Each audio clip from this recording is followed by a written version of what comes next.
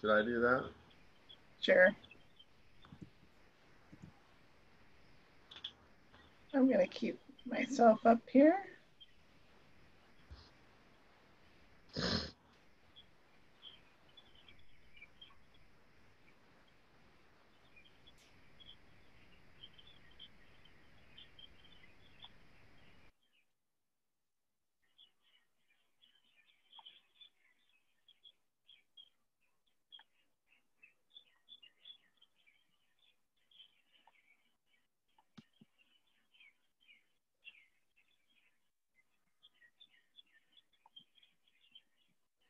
Aloha to those entering the meeting. We're going to get started here in just a moment. We have your mics muted, but we will be using the Q&A feature to take your questions for our guests. So get ready to jot down those as we move through the presentation and make sure to include at least your first name and, and uh, we have uh, just one guest today, so uh, that's going to be easy who you want to address your question to. Uh, also, we're recording today's presentation uh, for HY Media radio station, YouTube, and you, will also be able to find it on mauireefs.org. So we will get started in just a moment. I see that uh, we are live now on Facebook and we just want to remind uh, the, the, folks on Facebook too, um, we are using the Q&A feature in Zoom, but if you have questions for our guests when we get started today, you can uh, put that in the, the chat on Facebook and uh, we have a fabulous person that's going to re relay those questions to us. So go ahead and jot your questions down. Okay, I think we're ready to get started. So, if you are here to learn more about sewage impacts on Hawaii's coastal waters, you're in the right place. This is Maui Nui Marine Resource Council's Know Your Ocean virtual monthly speaker series.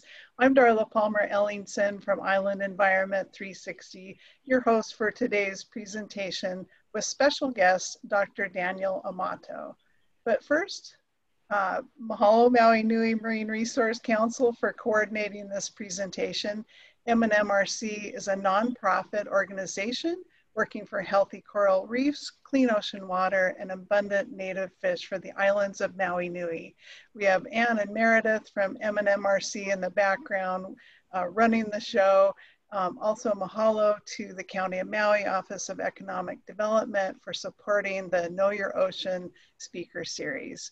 Um, so we are going to be uh, discussing the current situation with uh, sewage pollution in Hawaii, uh, including recent legal decisions, community efforts, and new technological developments in sewage detection that show promise for the future.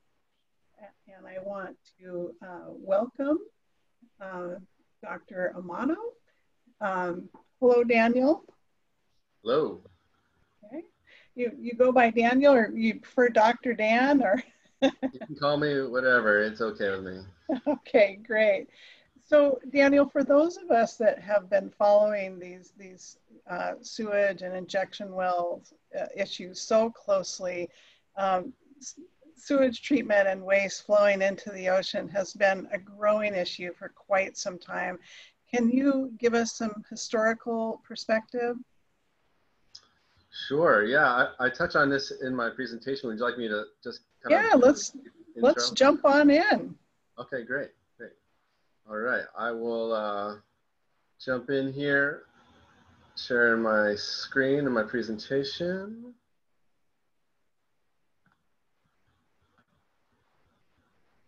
All right.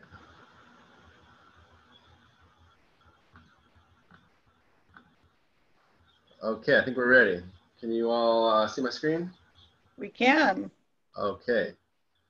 Awesome. Well, uh, just again, thank you um, to the Maui Nui Marine Resource Council and all of you for signing in today. It's been a great pleasure um, to be able to talk and do such a kind of thorough uh, talk here on the kind of the past, present, and future of sewage. Uh, and so I want to start by just introducing my talk. Uh, today I'm going to touch on kind of a brief historical look at sewage impacts in Hawaii, talk about some land-based sewage sources in Hawaii that we've been looking into, discuss some Clean Water Act legislation and relative um, uh, litigation, uh, discuss the recent and current studies of a kind of more academic nature before I close with some future considerations and, and issues and uh, some solutions. So Daniel, uh, can I interrupt you really quick? I, Sure. I apologize so much. I totally forgot to tell people about your wonderful background. okay, So yeah, if I could interject that just to give us a little bit of, of context here. Um, uh, your professional work focuses on the detection and impacts of land-based pollution in the Pacific Ocean and the development of new technology to access, assist in detecting the DNA of fecal indicator bacteria in the water. Uh, and you're, you're, a marine resource specialist at the University of Hawaii at, at Manoa, an environmental scientist at Element Environmental LLC, and you serve as the coordinator for Surfrider Oahu's Blue Water Task Force. I so apologize for, for skipping over that, but I think it was important for people to know your incredible background. So please, please do continue. okay, well, thanks, Darla. Yeah. Yeah, so uh, to answer your question uh, about the historical impacts, I think there's really no better way to um, bring up sewage in uh, the tropical environment and especially Hawaii without talking about Kaneohe Bay as, you know, what I would consider uh, a global scale textbook case of how to pollute a beautiful uh, coral bay. Uh, Kaneohe Bay was historically lush coral gardens. There were some uh, septic tanks and cesspools there, but the population wasn't that great.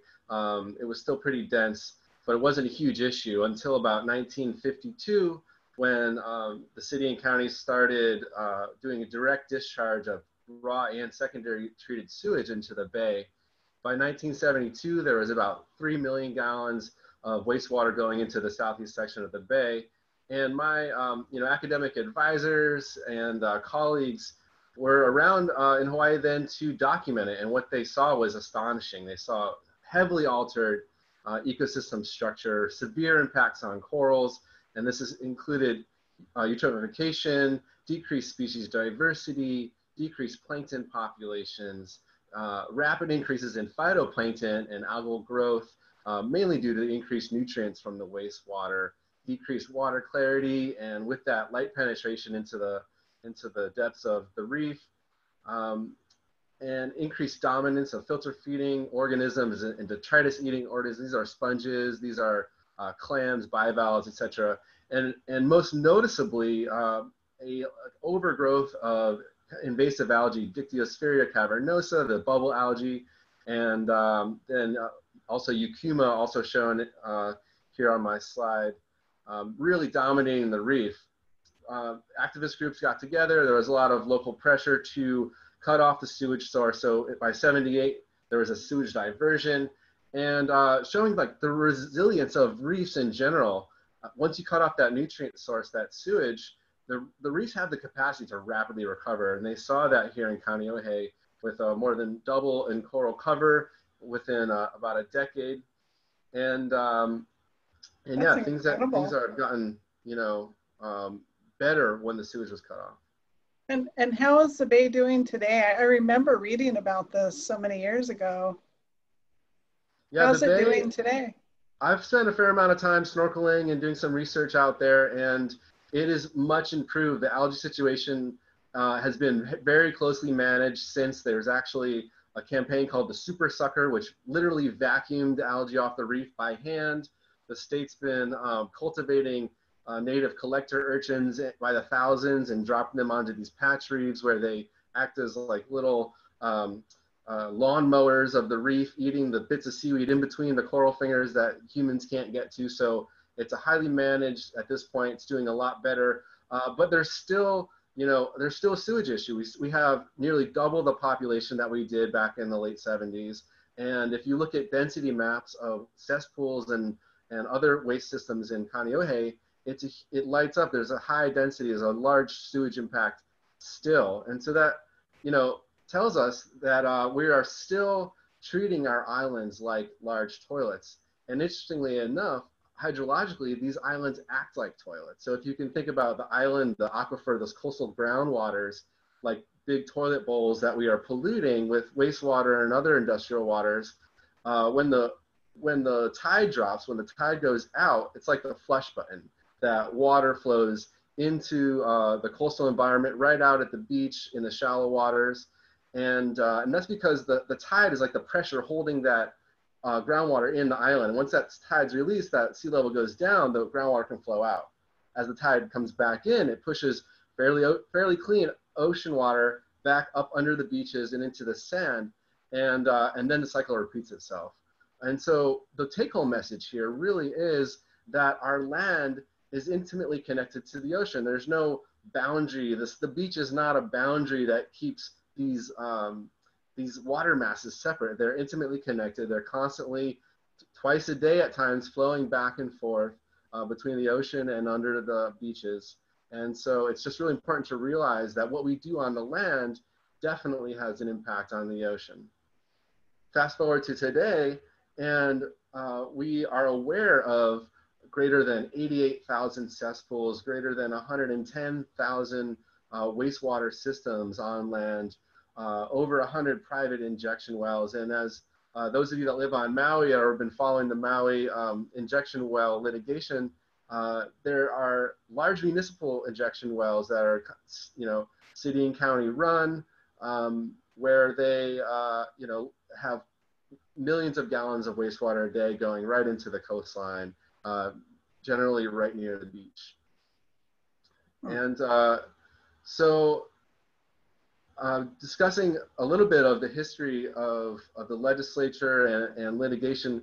In 2000, the EPA prohibits construction of uh, new large capacity cesspools. Now, these are cesspools that service uh, multiple uh, housing units. By 2005, they prohibit the operation of, of any existing ones, and about more than uh, three and a half thousand large capacity cesspools are closed. But it wasn't until about 2017 that the legislature really kind of um, passed some meaningful legislation and uh, flat out banned all new cesspool development. And this is really significant because Hawaii, to my knowledge, was the last state to do this, about 50 years behind the last state before that. So we're, as usual, kind of behind the times in, in uh, doing this. Um, and more importantly, they also banned all existing cesspools at kind of uh, at the date of 2050. So by 2050, all existing cesspools need to be upgraded to a higher level of treatment. And so hmm. that's a huge problem. We, um, we're really not sure how it's going to happen and who's going to pay for it. And so some of the work that I'm doing is helping to figure that out. I want to also mention that um, in 2015 and 2017, a tax credit was made available for residents to be proactive and upgrade their cesspools. But due to a lack of um, you know education, outreach, and knowledge about this, really wasn't used. I think I, heard maybe somewhere in the 20s, people you know 20 or so uh, houses took advantage of this. It wasn't highly utilized. Um, is that not still active? That tax tax credit? I believe it is active. That's a good question. Okay. I believe it. I believe it still is. I, we'd have to look a little closer at that though. Okay. Um, so Act 125 did uh, you know, some important things. They uh, directed the DOH to look into this issue and figure out how to actually go about upgrading all, you know, 88,000 cesspools in the state. So they um, they directed the DOH to evaluate cesspools that already exist and come up with a prioritization scheme for how to tackle these.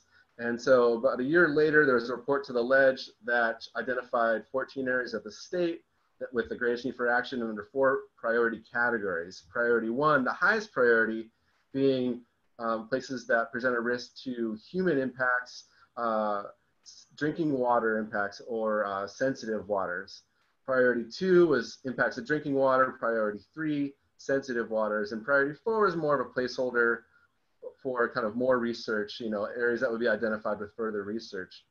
Um, and so it's this priority four, which led the, the ledge to pass Act 132 in 2018, where they established a cesspool working group. Now, this is a group of professionals that come together to try to figure out how to pull this off and how to pay for it. and also they've set aside money to commission a statewide study of sewage contamination, which I'm currently crunching the data on and uh, working on a draft to the ledge for that report.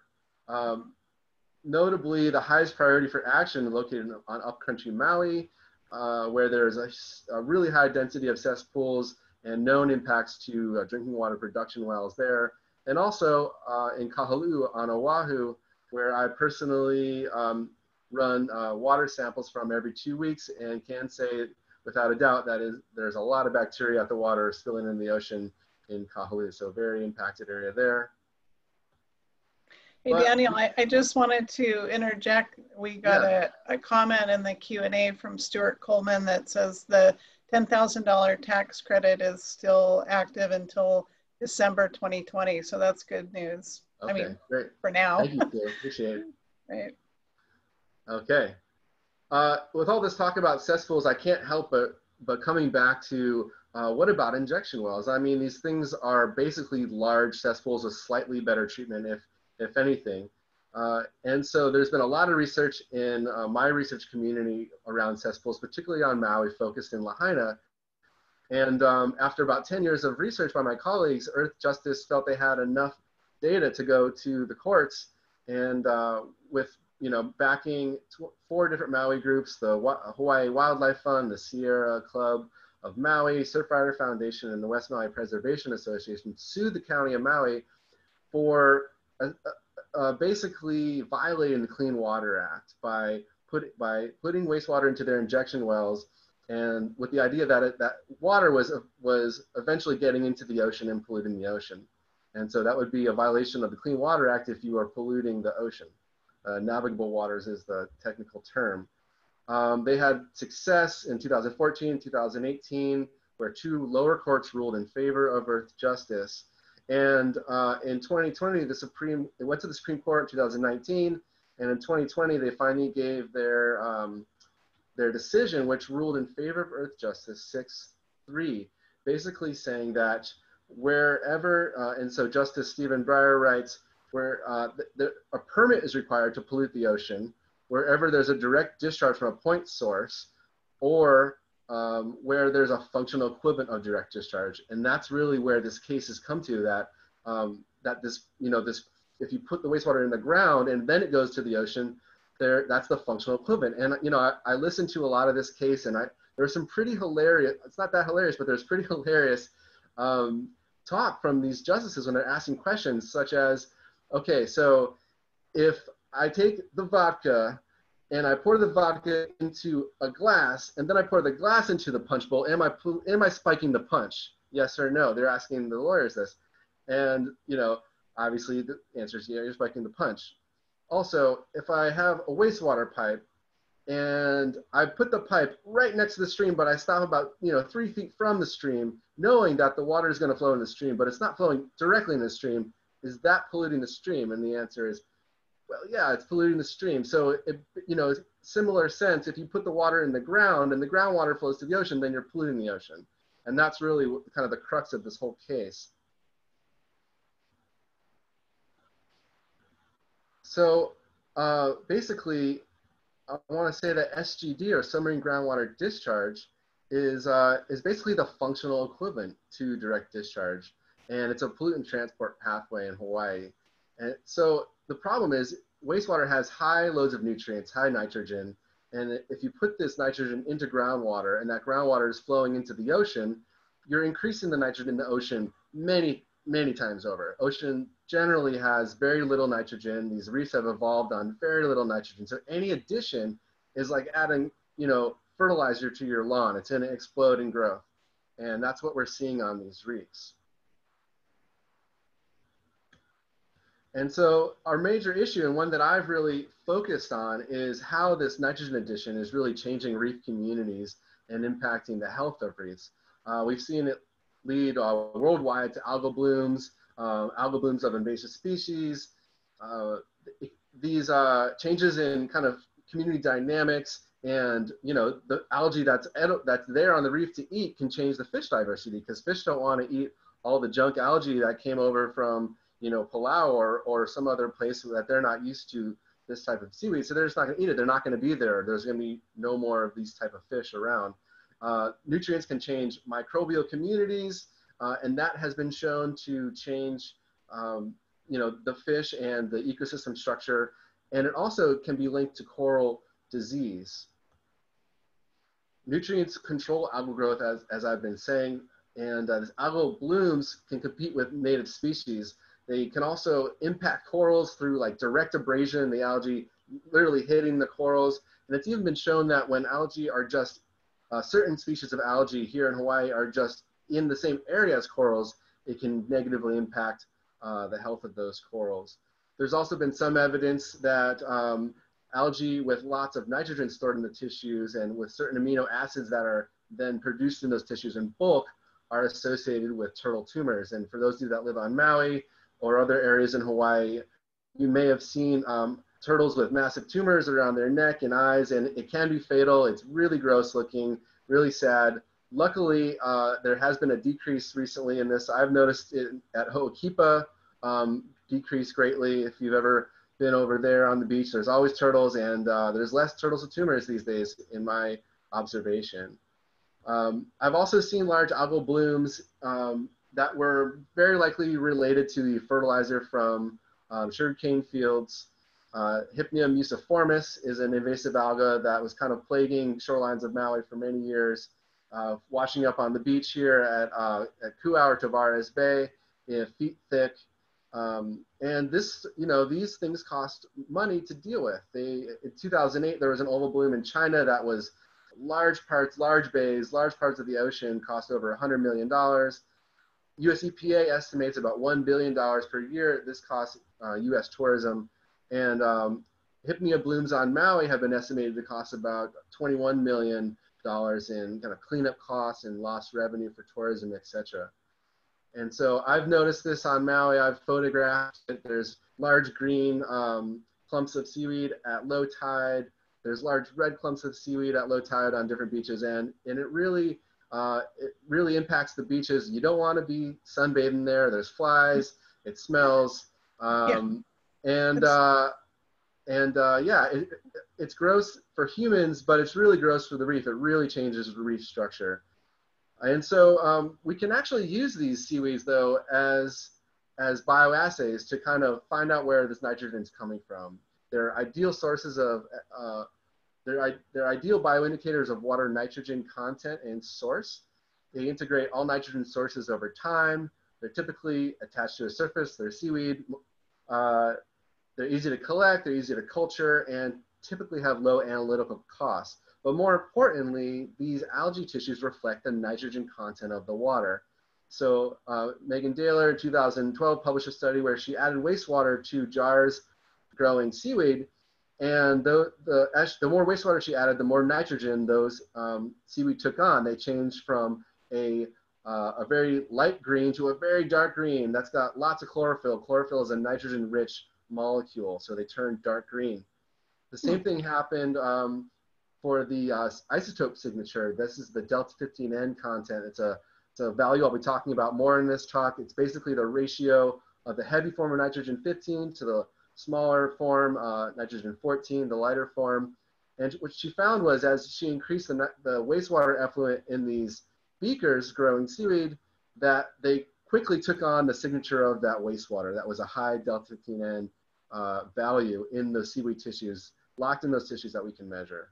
So Daniel, uh, if seaweed tissues reflect ocean water quality, can you then determine the source of what, what's polluting uh, using the seaweed? Yeah, so the seaweed can give us a relatively good idea of the source. It's not a, it's not an end all be all definitive um, uh, method, but it does give us a lot of information. And we do this through what we call nitrogen source tracking with stable isotopes. So for instance, if you collected a, a seaweed off the rocks, uh, you dried it, ground it up, sent it into the lab, and you got a value of around, let's say, three for a delta 15N value it's fairly ambiguous where the nitrogen is coming from in that seaweed tissue. It could be natural soil N, it could be fertilizer, it could be uh, wastewater, septic waste, uh, cesspool waste, etc. It's kind of unclear. It's in that kind of ambiguous zone. But if the value is higher, say above six, seven, say it's 13, uh, we're sure that the nitrogen in that tissue came from a denitrified process that's typical of wastewater processes. And if you look uphill and you have a wastewater plant or a high density cesspools, it's, it's very good indication that the water, the nitrogen in that tissue came from that source, that wastewater source up, up the hill. And when you put these two values together, the percent of nitrogen in the tissue and the delta 15N value of the tissue, it gives you a lot more information. Now, I want to remind you that the delta 15N value is not an indication of the amount of nitrogen. That's what the percent nitrogen does. So the delta 15N value gives you an idea of the source when the percent gives you a, an idea of the amount. And so these two together give you a lot of information. So if you have high nitrogen in the tissue and high delta 15N value, very likely you have a high wastewater loading in that water the seaweed's growing in. Uh, oppositely, if you have a low value of delta 15N, say two or zero, and, a, and a, still a large amount of nitrogen in the tissue, it's more likely uh, coming from fertilizer loading from, let's say, a sugarcane field or something like that. So these two values together can be very informative when you look at them together. Um, Meghan Dailer used a similar approach in, two, in her 2010 publication where she went and did a very extensive algal collection on the uh, island of Maui. And uh, she found some very interesting things where there were wastewater plants, large injection wells. She found very high delta 15N values. Here at Lahaina, uh, she got a value of around 43. In Kihei, a value about 18. This, these are delta 15N values, mind you. Kahului, 22. And over near Waiehu, where there's a high density of cesspools, probably the highest density near the coastline on Maui, there is a values around 10. So fairly telling wastewater signals in these algae. Uh, a lot more research was done by uh, Craig Glenn and, uh, and colleagues where they did dye injections, they did temp uh, thermal temperature scans, they did more algal work, um, and basically concluded, uh, particularly with the dye test, that there was irrefutable evidence for hydrological connection between the wastewater facility and the ocean there was a minimum travel time of three months from the wastewater facility injection wells to Kahekili Beach Park, where uh, these very significant springs were found in very shallow water. And estimate that 64% of the wastewater from that plant, which is around 4 million gallons a day, uh, so 64% of that is, is what, like 2.25 million gallons a day coming out of Kahekili. That's excessive. Um, similar work was done in Kihei, although not to the extent as Lahaina, where um, uh, Chip, Chip Hunt from uh, the USGS did a study where he modeled the wastewater in the Kihei facility and um, also added some algal collections along the coastline. And again, very high values of delta 15N in the seaweed right um, just downslope from the facility at the coast. Uh, mainly high values in the Kalama Park area and Cove Park area. And if you've ever been to these large really nice beach parks that are heavily used. There's keiki surfing in the water, uh, learning how to surf at Cove Park, and um, and uh, it's it's really concerning the amount of wastewater coming out there. Personally, I was there at low tide and uh, recorded a video. Now this is water flowing out of the beach at a fairly high velocity, spilling out of the beach enough to raise the sand and bubble the sand up. Uh, you can see just the amount of water. This is only one location, uh, I observed this in multiple locations along Kalama Park. If I had to guess that, you know, just from Chip Fletcher's data, that's 60% wastewater effluent coming out right there at the beach. So with a lot of work being done in Kahului, uh, sorry, in Lahaina, and a lot of work kind of done in Kihei, the work that I did for some of my dissertation was uh, investigating the wastewater situation at Kahului Wastewater Reclamation Facility. And uh, this is a facility right on the coast in Kahului. They put about four and a half million gallons of wastewater uh, into injection wells every day, literally a stone's throw from the ocean. You can see, uh, you can see the ocean right from the injection well. Um, it's very close, about 50 meters or so. And so what we found when we tested the water right under the beach coming out of springs, and or just the water in the beach sand that we estimated about 25 to 75% of that was wastewater effluent from the plants um, with high delta 15N values of that water. Um, I collected algae all along the coast, and I also deployed it in cages off the coast to kind of find that the extent of the plume of the impact zone of the wastewater from this plant. And uh, generally what I found was it had a measurable impact, what I would call a definite wastewater signal about 200 to 300 meters offshore and about a kilometer along the shore. And uh, yeah, impacting a lot of that bay. Is there much reef in that area? Is it also affecting reef in Kahului Bay? Well, yeah, I did benthic surveys at many sites on uh, on Maui, and uh, what I found in Kahului was really astonishing. I haven't seen anything like it before. They're uh, right offshore of the bay in about you know six seven feet of water, um, where you may expect there to be reef. There was this thick fleshy mat that extended as far as I could see of fleshy zoanthids. Now these are coral-like organisms without the coral shell. They're photosynthesizing filter feeders um, that some, some species can be toxic if you mess with them as well. I want to keep that in mind. But I've never seen anything like this. This is totally uh, unique. It hasn't been documented anywhere else I've seen where there's nearly 100% cover of zoanthids. So kind of eerie, creepy, wacky site um, that uh, I think calls for further investigation. But um, yeah, pretty wild. I, we, like I said, we did research at other Maui sites for this study. This is from our 2016 paper in PLOS One where we compared high nitrogen loading locations with low nitrogen loading locations. And generally, we had, um, the, the reefs were very different. We had a large amount of macroalgae at, uh, at these high nitrogen loading locations uh, and low coral cover and vice versa at the low nitrogen loading locations. At the high loading locations, the algae that we were deploying and collecting had um, very high nitrogen compared to the low locations. There's about three times as much nitrogen in the tissues at these high end locations. Have, but, have, um, you, looked, have you looked into the Olowalu area? I know that's a kind of an area of debate right now because of a proposed housing development. Um, Mike Fogarty uh, through the chat was, was asking about that, you know, the level of threat in the Olowalu area.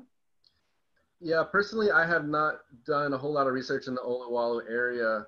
Um, but uh, yeah, I'm sorry, I don't have a lot of information about that. We could look back at Meghan Dailer's 2010 paper for some uh, potential information or our statewide uh, Act 132 study, which I'll touch on uh, later in this talk. But yeah, sorry, I don't have a whole lot of info.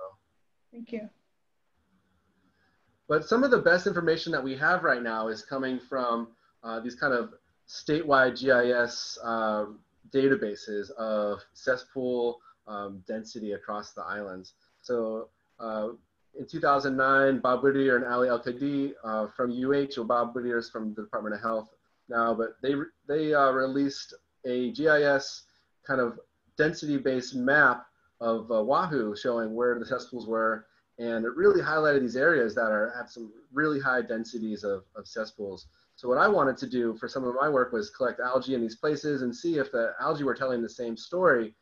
And um, so I did that around the island of, of uh, Oahu, focusing on three different species and found that, in fact, yes, the algae were telling the same exact story as the modeling, reinforcing that the model is potentially really our best kind of statewide um, resource for information as to where we might have wastewater impacts in the state.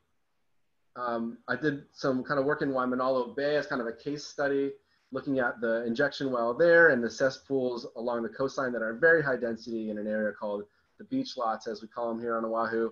Uh, and comparatively, I interestingly found that uh, while both of those, you know, the 754 uh, wastewater units versus the treatment plant, they had generally the same amount of wastewater, 200 million gallons per year going into uh, the bay there. But the, since the wastewater plant was a treatment facility, a secondary treatment facility, it produced only a fraction of the nitrogen and uh, the phosphorus. So again, going back to the models as really being our databases, our, our, our actual known locations of wastewater systems being some of our best information. Again, Bob Whittier and Aly El-Kadi published in 2014 um, wastewater maps for, uh, for some more of the main Hawaiian islands. And they also did some uh, investigation into the, this nearshore risk severity score, um, identifying coastlines that are most at risk to these uh, wastewater sources. So they did uh, maps for Big Island, for Kauai, for Maui, and for Molokai. And so the uh, this Act 132 wastewater survey that I've been referring to is a statewide approach um, that uh, you know where we were able to get money from the legislature to do this work to help them prioritize areas for upgrades. We're building on this type of work where Bob uh, Whittier is uh, doing the, you know, revising his groundwater models and we're testing uh, algae and water in these areas uh, to determine what areas in Hawaii are most impacted by wastewater.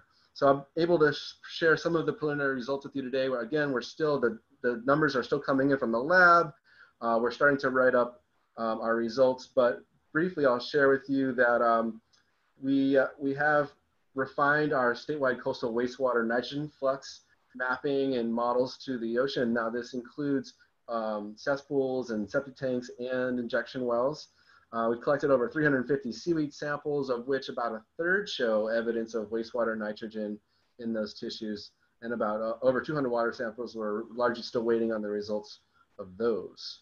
Um, for Maui, um, Michael Mezzacapo recently published some of our kind of uh, preliminary results in his uh, white paper called Identifying Potential Knowledge Gaps for Hawaii's Cesspool Conversion Plan. Now, this is largely a white paper to the Cesspool Conversion Committee and the legislature to tell them where we really have knowledge gaps uh, in, um, in this and what we need to, you know, figure out before we can really come up with a solid plan to upgrade all these cesspools. And what we're showing here is that two sites comparatively, Wailea, which is just down gradient from a high density of cesspools, came up with um, algae that were collected offshore that uh, had relatively high delta 15N values, relatively high levels of nitrogen in those algal tissues compared to a control site um, in South uh, Kihei where delta 15N values were much lower and about half the nitrogen in those tissues.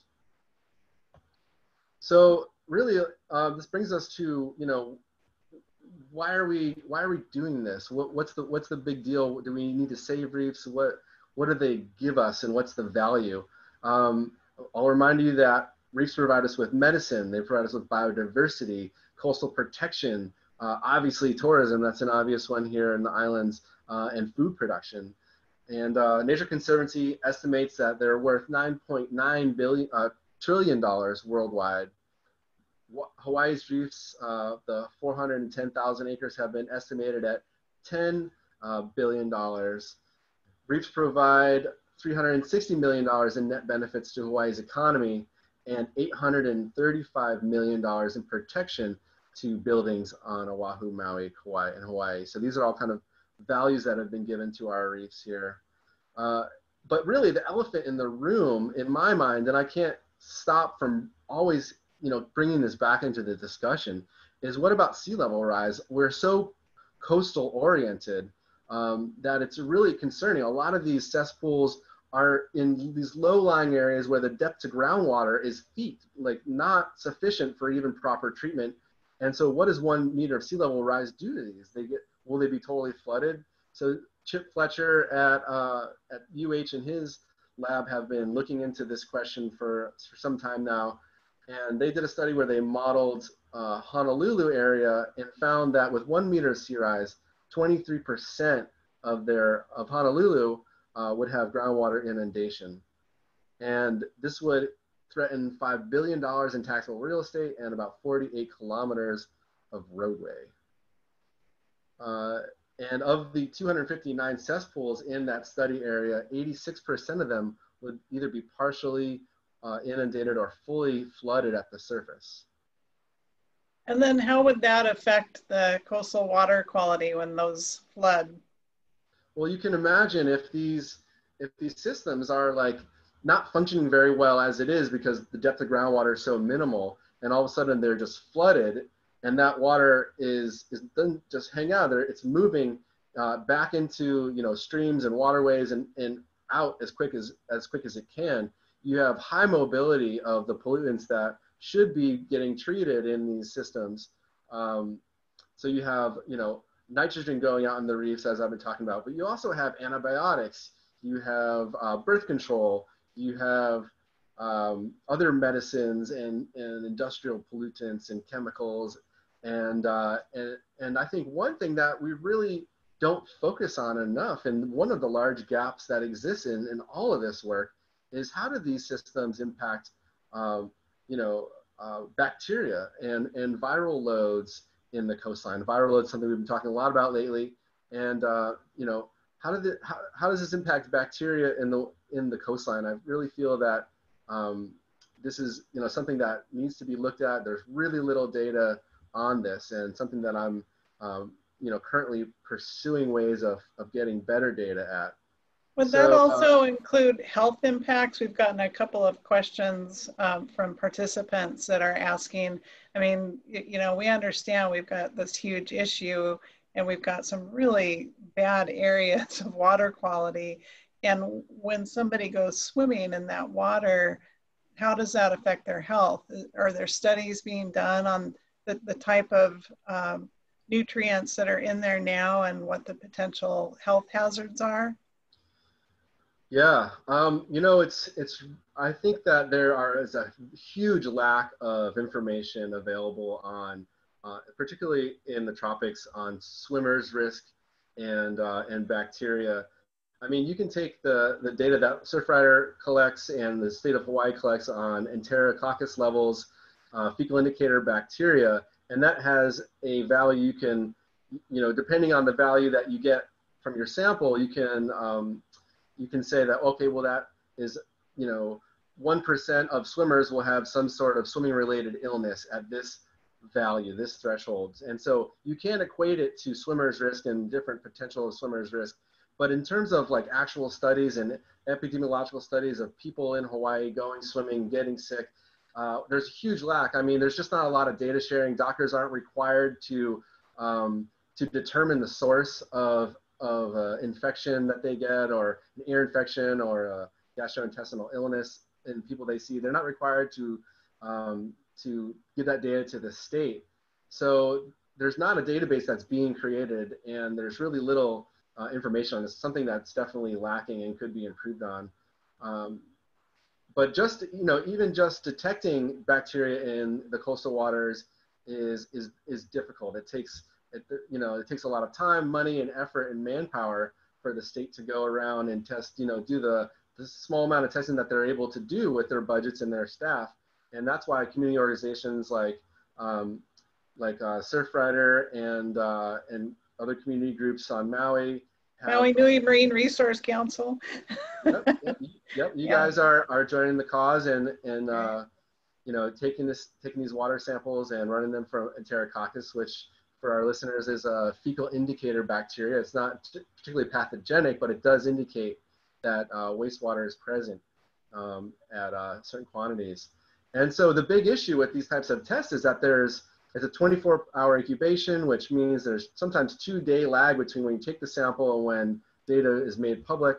And so it's really hard to do anything with that. If you were in the water two days ago and you were exposed, you know, it's, it's difficult to, to avoid that now that you uh, have already gotten out of the water and, and maybe you got sick but you're better. It's, so what we're trying to do at UH with, uh, with a collaboration between Surfrider and a private company, Diagenetix, is create an on-site DNA level detection device uh, or protocol that, that will give us results in you know 30 minutes that is like a, a high quality level uh, of detection.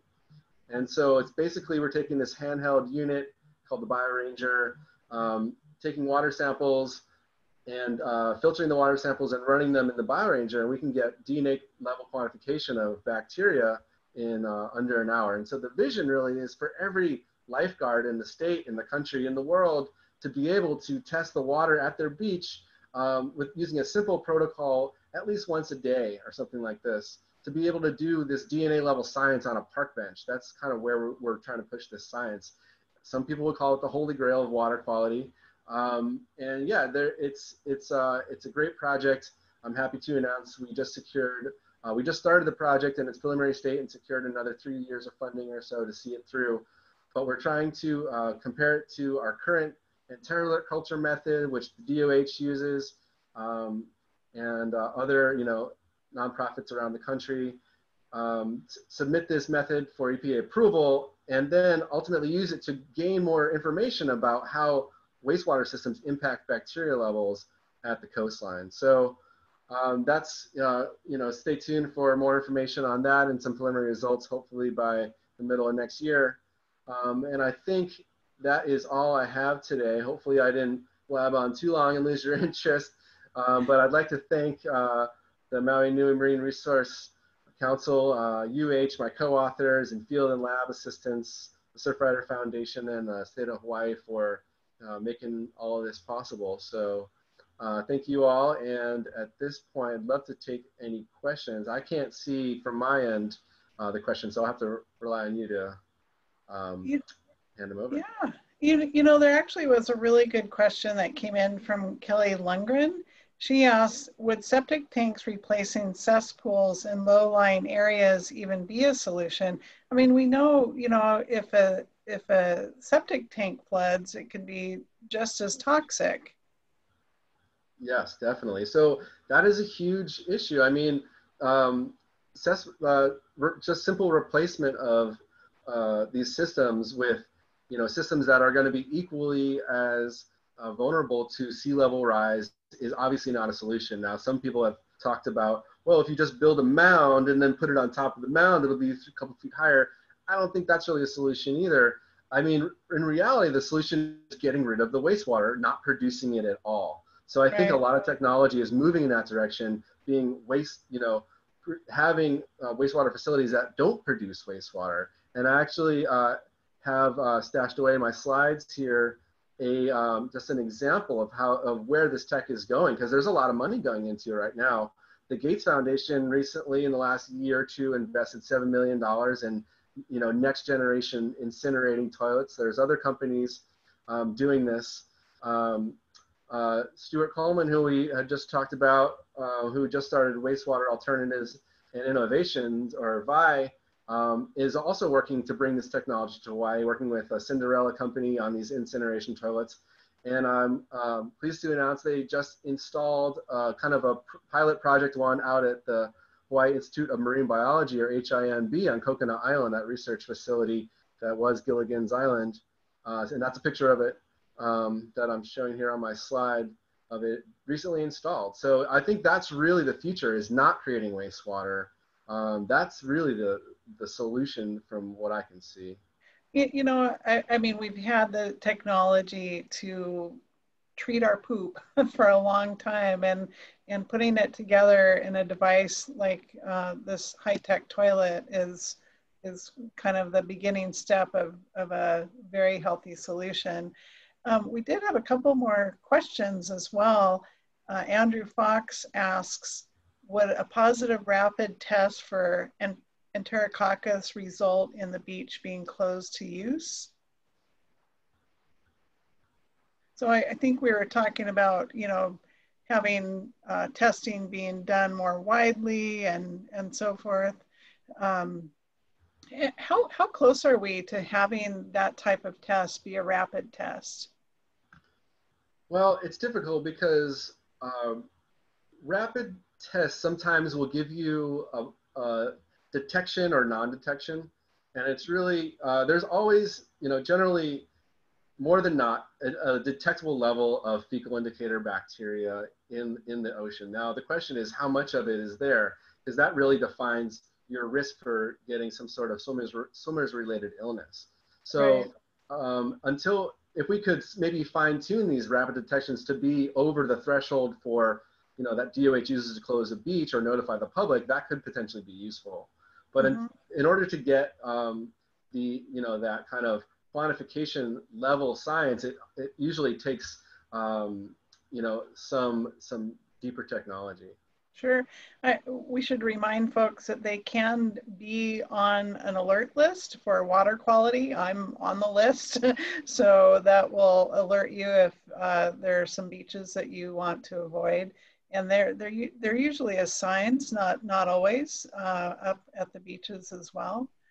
Um, so we had a kind of an, an, anonymous question how can we help collect samples properly and otherwise contribute man slash woman power? Oh, I guess that, that comes from Phil. Um, and before you answer, I need to give another plug for Maui Nui Marine Resource Council because they do massive water quality testing. If you're listening in from Maui, and they, they do accept volunteers in that program. So um, I think it's good to check with those community groups that are that are doing that. How about you, Dan? What do you say? Yeah, no, I'd second that. I would say find a community group in your area that is um, that is doing this kind of sampling because they will already have the uh, you know spent the money it takes to kind of get the lab going, and then uh, and yeah, um, show interest and you'll probably get you know get looped in and be asked to sample. Um, so, and if there's not one in your area, uh, start them. I know that, you know, Surfrider Foundation in particular is, um, you know, has chapters in at, at, different high schools. There's chapters at colleges. There's chapters. Uh, there's two chapters on Big Island. That, for instance, you know, you can start a chapter or another nonprofit, or or you know, if you want to do this work, I would say it's not that hard to get started. It takes a little bit of capital to get the supplies, but um, but uh, yeah, it's it's accessible to everybody. Sure. And uh, again, if you are listening in from Maui, uh, you can go to huiokawaiola.com. That's H U I O K A W A I O L A.com if you want to sign up to volunteer. Hey, maybe that is a great note to to end on. Um, I really wanted to thank you so much for talking to us about this this problem that doesn't seem to go away, but uh, it's important to hear. So, so thank you, Dan, so much. Appreciate it. So before we wrap up today's presentation, um, I I don't know if Meredith, can you nod if we're going to play a video clip or or not? No, we're not going to play one today. Okay, yeah, that's something to look forward to for, for next time. So I just wanted to thank everyone uh, for joining and participating with us to discuss sewage impacts on Hawaii's coastal waters. Coming up Wednesday, November 4th is another free Zoom webinar offered by Maui Nui Marine Resource Council. To receive information on that, please visit mauireefs.org and sign up for the free Reef and Brief e-newsletter or follow MNMRC on Facebook. Special thanks to our presenter, Dr. Daniel Amato. Mahalo also to the County of Maui Office of Economic Development for supporting Know Your Ocean virtual monthly speaker series. You'll be able to view this webinar on Facebook, Akaku Community Media, Listen in on Sunday on KONI 104.7, K-Rock 97.3, KRYL Country 106.5, and Retro 102.1 on Maui. Uh, Sunday morning at 9 a.m. And actually, this one will probably go out statewide as well for, for you people that are listening from outside of Maui. Um, we do encourage you to donate to Maui Nui Marine Resource Council um, you, you, know, as a reminder, they they are one of the great organizations that just one of the things they do is massive water quality testing, which is so important. Uh, and when you donate, you can get some cool swag. So there you go. Maui Nui Marine Resource Council works for healthy coral reefs, clean ocean water, and abundant native fish for the islands of Maui County. Learn more at www.mauireefs.org. And that is it for our show today. I just want to say aloha to everyone. Aloha. aloha. Thank you all. Thank you, Dan. Welcome. Thanks, Pleasure. Dan. Bye.